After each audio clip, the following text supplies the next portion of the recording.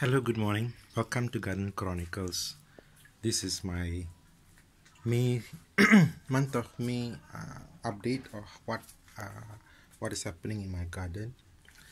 Uh, you can see from here my bird nest fern is been growing in, in, quite a good size now and uh, some of the plants that I've been trying to grow over here seems to be some are doing well some I've just added few because it's like it seems to be bare and this is the update. I find the palm is not really doing well as what I thought it was supposed to be. Uh, I, have uh, added cordyline here and surprisingly they are doing well. I had few failures with it and I thought it was quite difficult uh, this is actually has a red border. This is a very common one. There's two types.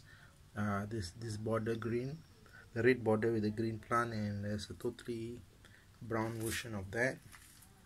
This is uh, Epipremnum pinnata it's also uh, common name is uh, dragon tail. It is com often uh, confused with monstera but uh, they have they do have monstera features actually uh, but this is much more hardier than Monstera. For new beginners, I, I would really recommend you to try on this first before going through Monstera because somehow somehow Monstera seems to be more fussier than anything else.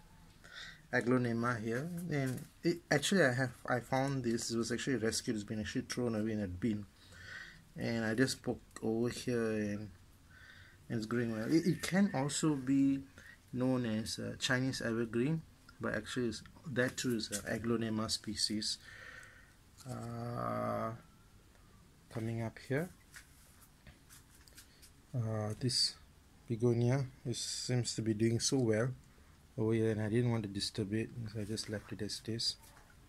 Another Aglaonema I, I like to add color and somehow it's like in a small garden space. The compact especially compact garden colors actually makes the place looks bigger and it creates sort of like more life in that sense. I've switched off the motor of my pond because it's too noisy and I doubt you can actually hear me. Over here actually I have a small basket and I, I placed all these uh, cuttings pothos and cheese cheese leaf plant. I think it's also a Monstera adoni a few others here. And what it helps here is that all these live bearers like guppies and swordtail they tend to come here and give birth. And sort of it's like a small nursery over here. So let's see like it, I, I don't want to to raise up the water too high and the goldfish seems to go inside and it creates a havoc and this uh, watermelon begonia is actually a pilea oh, sorry uh, pellonia uh, quite a good plant actually. I'm so surprised the robustness of this. There really hardly no care and just seems to be able to do it so well. As as usual this these things over here. Caladium and pothos. Uh, the update with this uh, begonia. I think it's actually uh, more of a wax begonia type. So it's not actually a cane begonia. So they don't really grow big. It's like grow to a certain length and then it tend to become uh, matured and the leaf falls off and the whole plant dies. So uh, it, propagating this is quite a challenge. I'm trying to cultivate some moss here. This somehow like aquatic a bit. So it's not so wet and not so dry so I have to uh, put in some other aquatic plants here. Uh, water lettuce uh, you you you wish. You find it surprising that I'm actually trying to cultivate some tadpoles here I find that what happened is few days it's been raining crazy and then after that uh, it, it stopped raining. And I actually found this in a water puddle.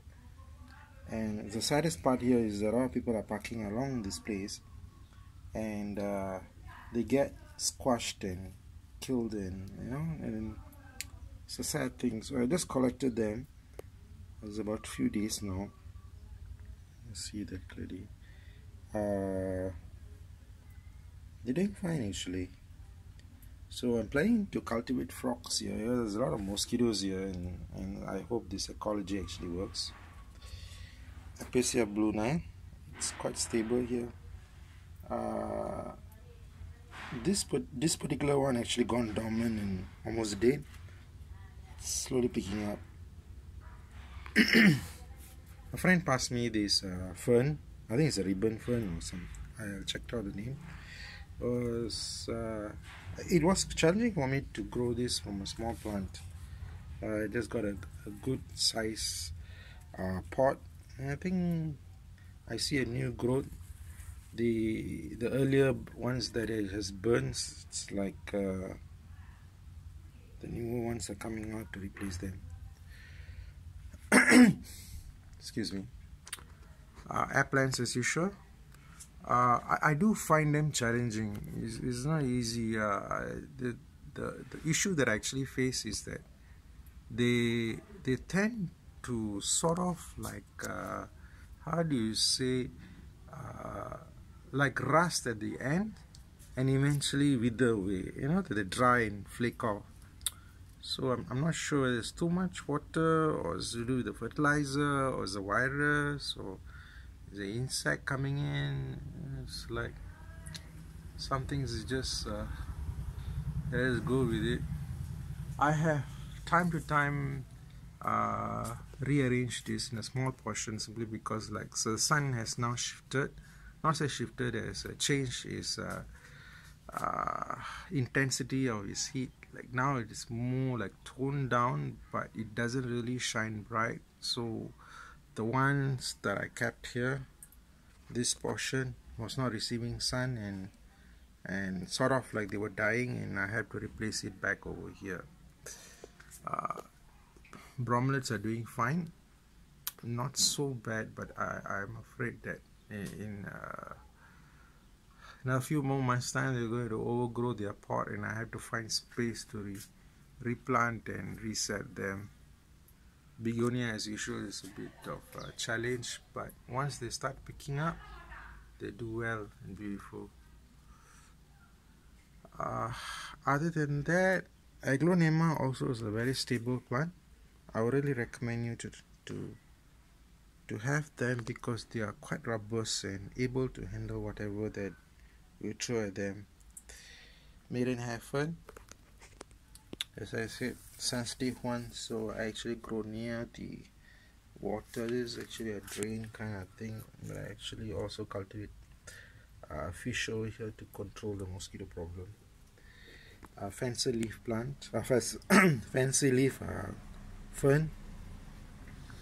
Also this uh, the thing is a blue fern actually managed to get it and I found it actually by the drain side together with the moss this particular moss so yeah see how it goes.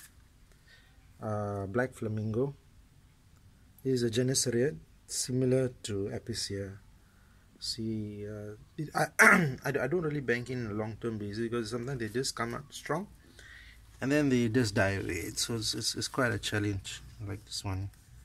This is like falling on you to find a way to properly grow it? Other than that uh yeah the the the, the begonias as usual uh, they have now have stabilized.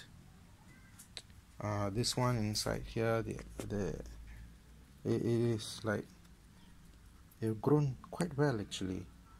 I mean quite challenging but uh, eventually uh, they really picked up uh,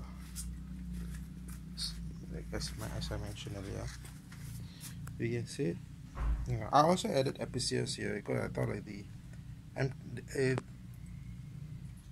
the challenge that I face with this one here is that the ants tend to come and farm on them bringing uh, scale insect.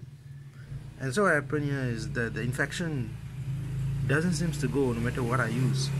And if the pesticide is too strong the plant tend to die and they go dormant and this is quite a struggle. I think I lost a lot of them. So I'm just maintaining the ones that I have in my hand and I'm not going to replace them. So whichever that is in my hands they grow they grow. If they die they die and kind of thing. I think most likely I'm going to replace more the, the ones that is more hardy. Uh, uh, Dieffenbachia is a Dumbcane family kind of thing. Very closely related to Aglaonema. Uh, but this one has a very good variation of colors. Syngonium, I think is reverting to it's more of a wild side. It's it's trying to give its three lobe, then eventually might go to six lobes. So I, I may have to trim it because I don't want them to grow too big and then it'll become very wild like. But I, I I somehow like the color that they give because what I'm actually looking for is the contrast because it's like I, I, I really can't work out with any other colors the green that I have. So I just have to make do in what I have in my hands. Uh yes. Green begonias maculata and picta if I'm not wrong. The the, the the the thing that I really love about them is that their spots they don't they don't disappear away when they become uh, adult plant.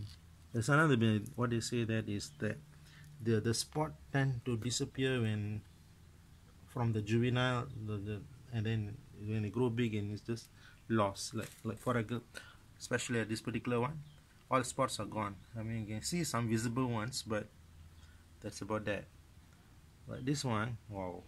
I just admire that? I'm not sure you really uh, see it so well in the camera but uh, oh this insect. I wonder what this is. Lip hopper I guess. So so yeah. Okay. Hmm, now I have an insect problem to figure out what am I supposed to do with it.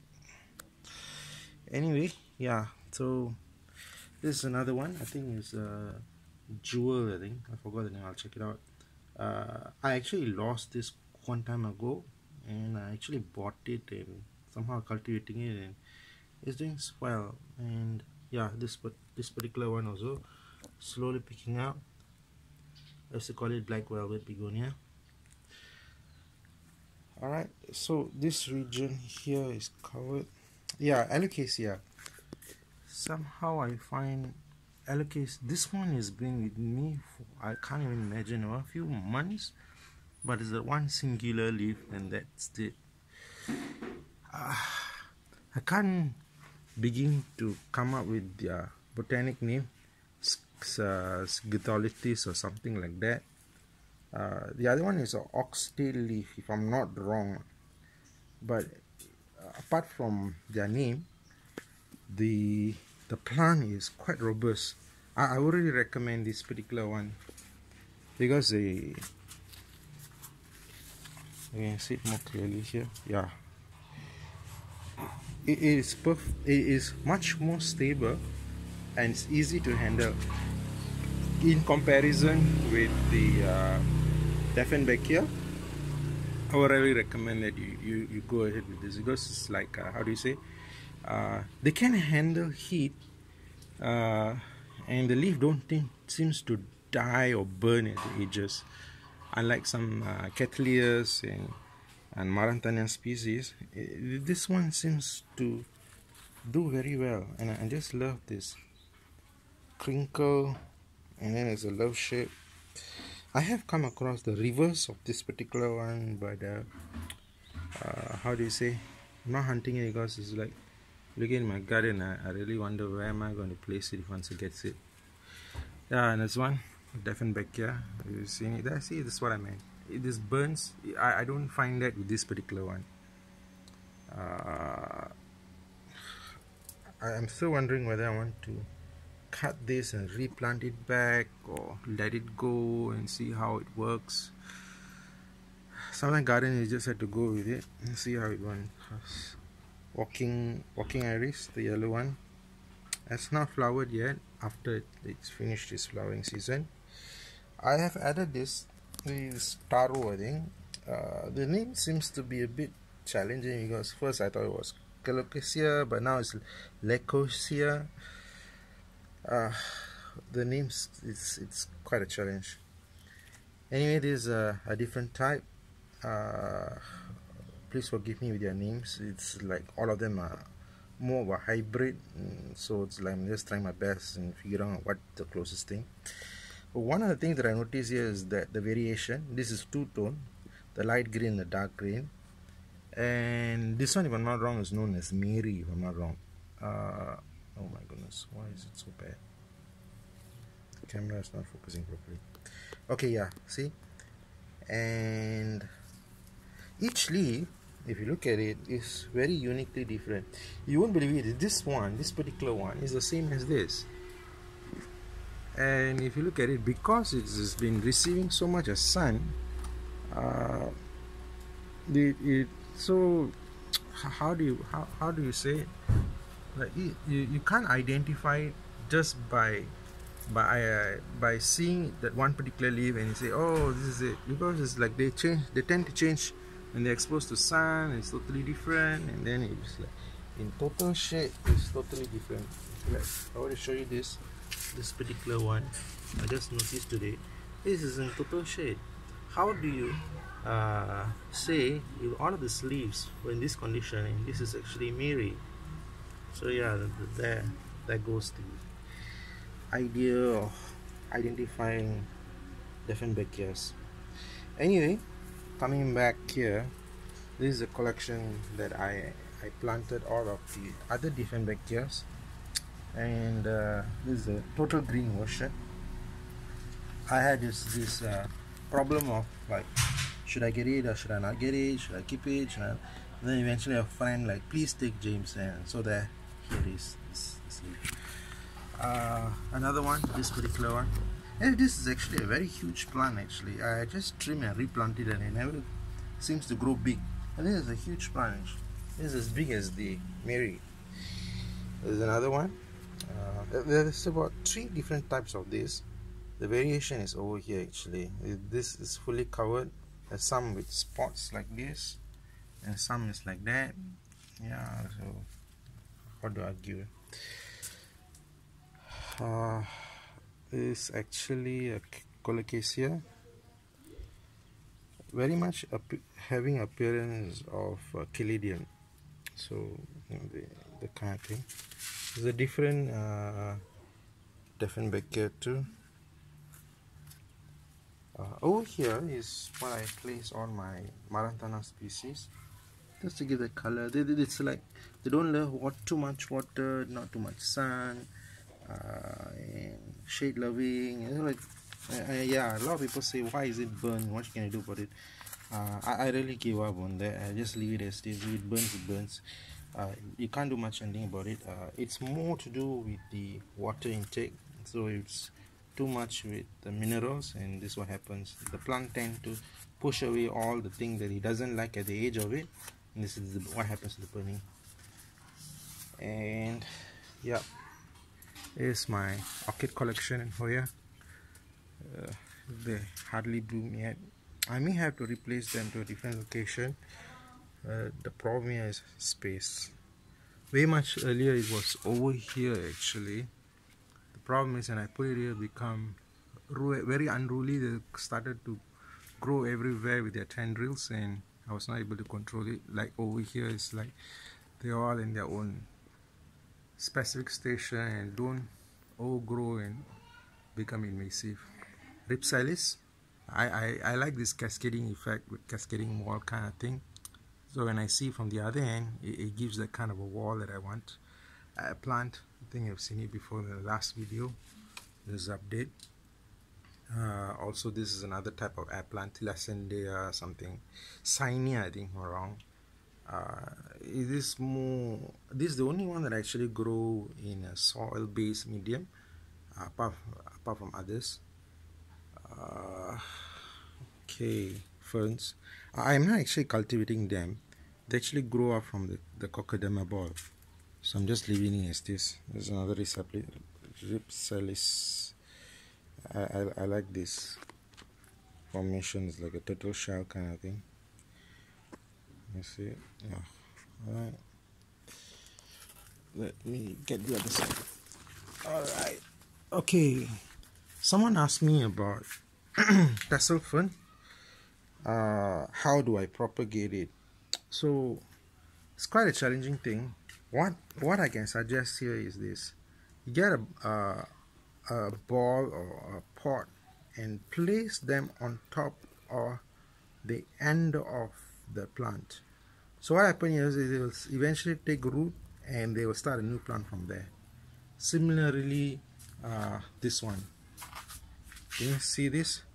Uh, I, I have not done actually this this particular uh, tassel fern if you can see it started started off here actually what happened here is that this this particular pot this particular uh, tassel fern this this leaf edge has sort of like started off from from the end of uh, the Kokedama ball and started a new what I placed here is this particular pot and I tried to propagate it from here but it was not successful because I think the substrate is too wet and uh, and the whole thing started to rot and I have to redo again. Eventually I might do that later. Other than that orchids the sun is coming and it's not clear okay uh, this is the night bloom night blooming uh, queen night queen I think it's like uh, it's, it's, it's, sort of like uh, growth here all right yeah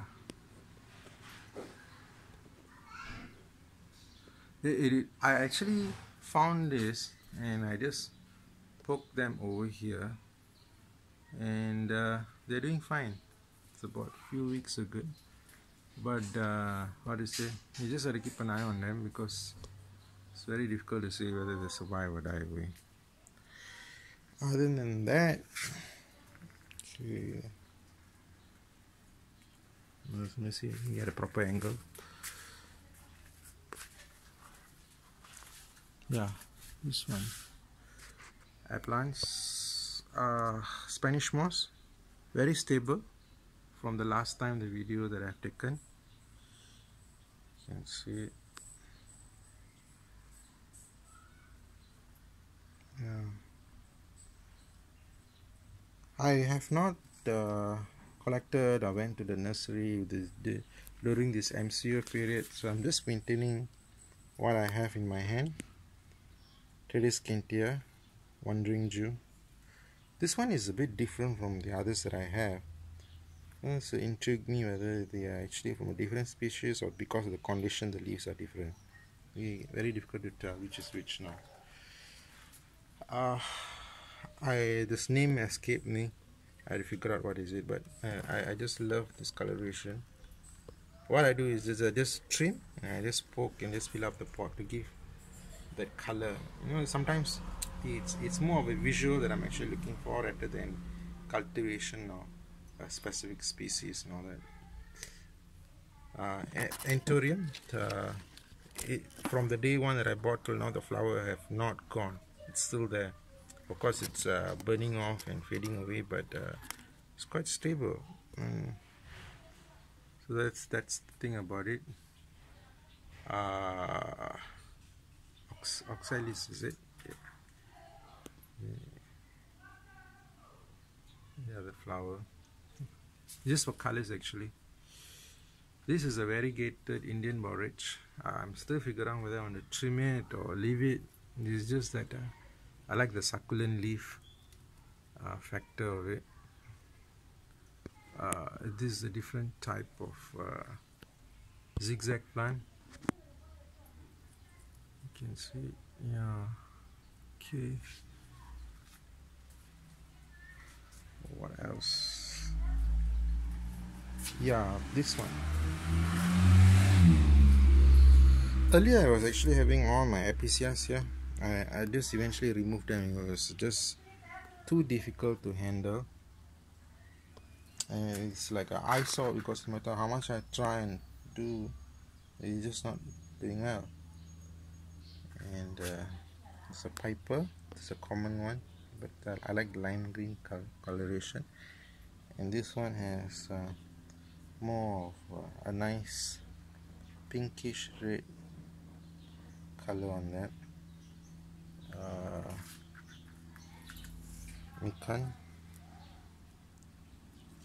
yeah is uh, what do you call uh, that one one ranger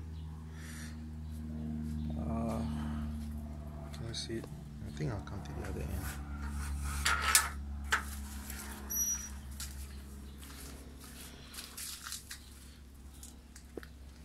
Ah, so I'm actually trying going for colors actually.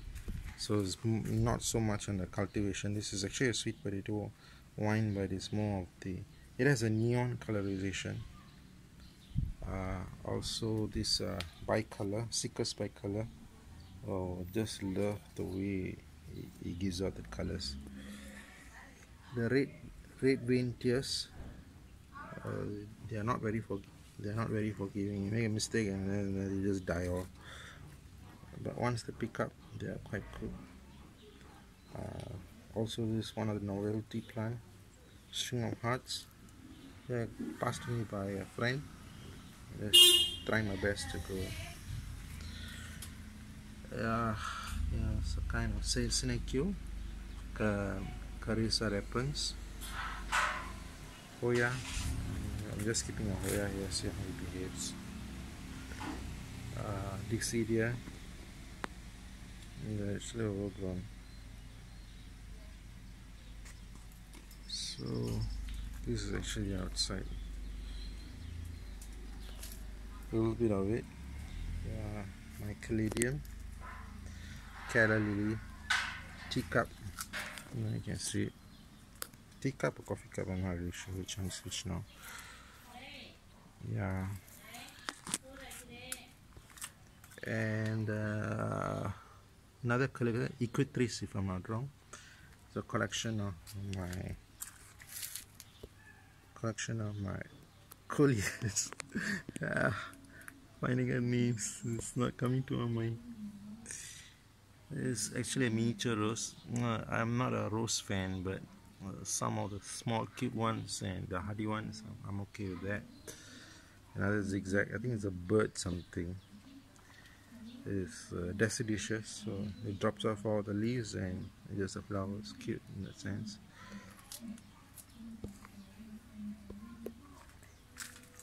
The sun is coming up I, I, I try not to grow grass so I replace them with this, this Callisia repens with another Tritias Kentia and the ferns and, and all that. Earlier over there I actually placed that. Is, is not doing so well so I, I, I brought it over here because it's not enough sun. And uh, it's slowly picking up.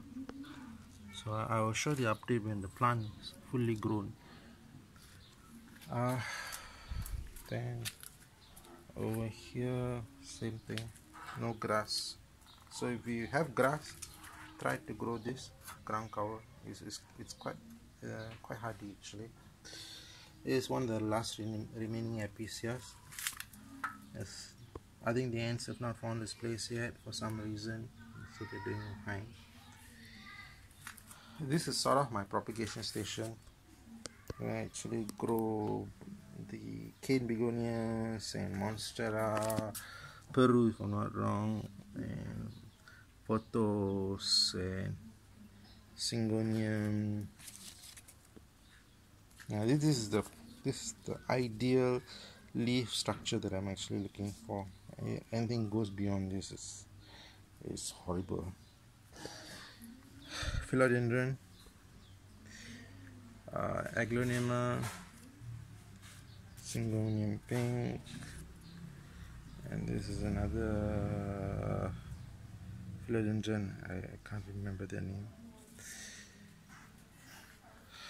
This is uh, asparagus fern.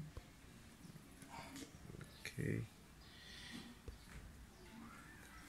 I, I had to rearrange this place but uh, yeah it's quite bad. Another African mask. It has gone dormant actually but it's slowly picking up. Is uh yeah what is that name? Satin photo. Scindapsus or something like that. I only have this version. The other reverse version I've already lost it. I didn't realize that it's dead and it's gone. I had to like cultivate this and see how it goes. Very difficult plant for me. A lot of people say it's, easy but yeah for some it's just doesn't make doesn't make sense. Uh, yeah so it's, it's very difficult to get this place in camera because the sun and the car that's been parked by my neighbor's side and and this is how it is keeping my how do you say it, the, the smallest garden ever and as many plants as possible. I hope uh, borderline plant holder okay uh yeah. Uh, I do not know whether I missed out something. Uh, but uh, there's some other the cane begonia I'm surprised it's Aya if I'm not wrong. It's not cane actually. It's more like a shrub. It's doing wine. Well I mean like I hopefully nothing happens to it but it, it needs to be staked and straightened. You know the whole thing seems to be like collapsing and I'm thinking about should I trim it and propagate it or because if I were to do that the whole plant become goes into a shock and and the one that I trim and propagate might die off and the mother plant dies off and that's the end of this particular species. Uh, this one Fittonia horrible challenge. They are not uh, stable in my place. I mean, like it, it looks good then uh, that's it. It's one plant and that's that's about it. So then I trim and replant it it doesn't really fill up. This is supposed to be a full pot of Fittonia actually. Two pots of it. It's not happening so I started to plant other species inside here. Alright. I think I covered for today. Thank you so much for giving me 30 minutes of your time. Uh, I hope you enjoyed my garden update. And the sun is slowly coming up. So hope to see you soon. Uh, if you have any comments and questions to ask feel free to to ask and uh, I'll try my best to reply. And uh, do feel free to click like and subscribe my videos. Thank you so much. Have a nice day